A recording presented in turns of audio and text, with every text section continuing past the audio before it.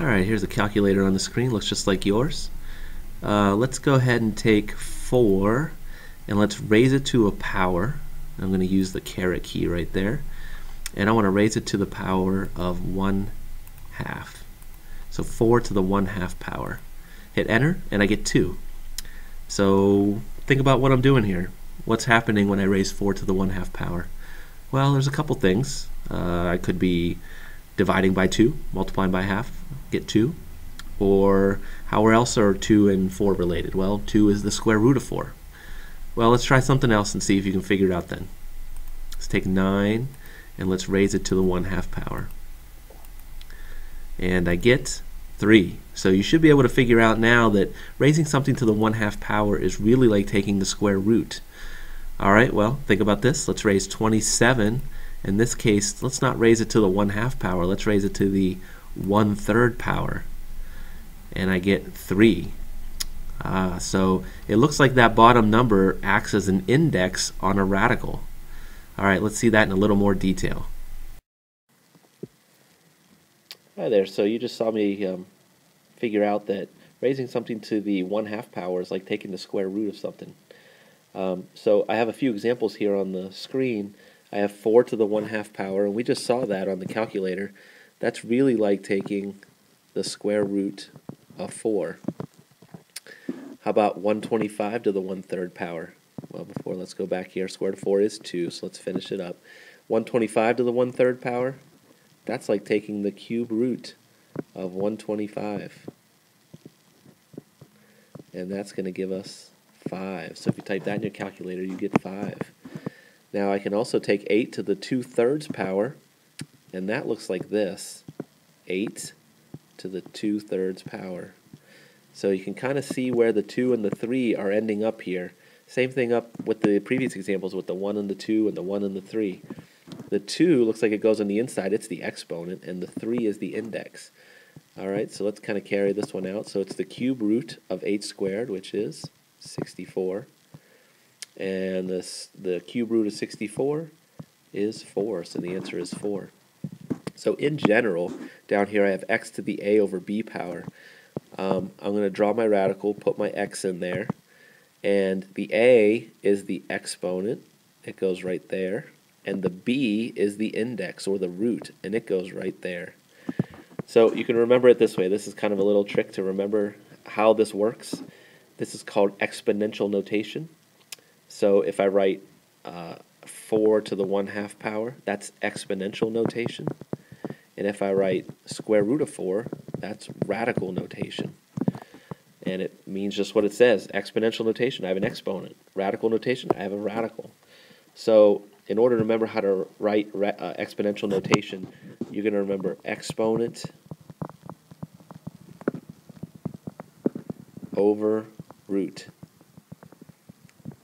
Alright, so why do I have a tree there? I know it looks like a, a mushroom cloud from a bomb, but it's not. It's a tree. The reason I have the tree there is the roots are on the bottom of the tree.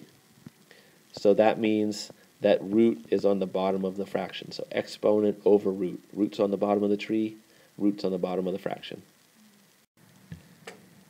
Hi there, it's me, Mr. B. Let's write 5 to the 1 half power in radical notation. All right, radical notation means I have a radical in the answer.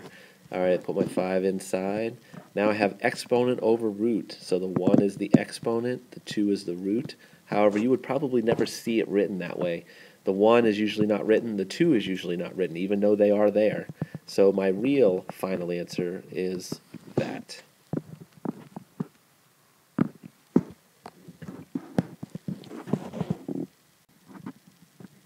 All right, let's write y to the 2 fifths power in radical notation. Course, radical notation means there's a radical in the answer. So I'm going to put my y inside, and it's exponent over root. So the 2 is the exponent, the 5 is the root, and there's my final answer.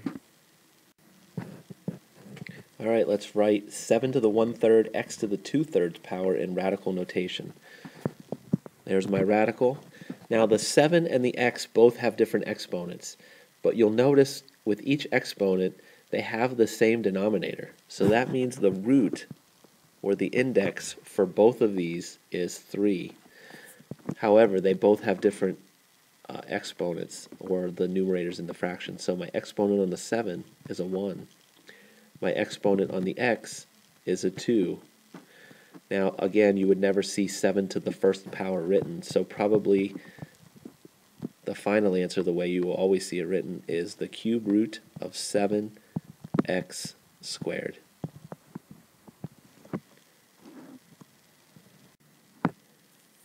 Okay, let's change it up a little bit. Let's write the sixth root of a to the third in exponential notation. So we're going from radical to exponential notation. So I'm going to start with my base, that's an a. And the fraction that I'm going to raise it to the power of is exponent over root, so 3 over 6. Now, I look at 3 6 and I think, oh, I can reduce that. And I can. So a to the 1 half power. So really, raising a to the third and taking the sixth root of it is the same as taking the square root of it, a to the 1 half power. There's my final answer.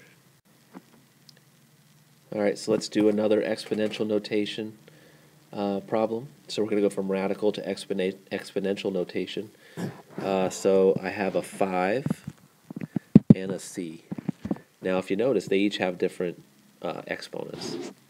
Uh, so they're going to have different fractions that they're both, both going to be raised to. So in each case, the index is an 8 because they're both taken, it's both the eighth root of each um, each number, 5 and c squared. So the 8's going to go on the bottom. That's the index. And on top is their exponents. So 5, the exponent on the 5 is a 1. The exponent on the c is a 2. Uh, I can't reduce 1 eighth, but I can reduce 2 eighths. So I have 5 to the 1 eighth power and c to the 1 fourth power. And that's my final answer.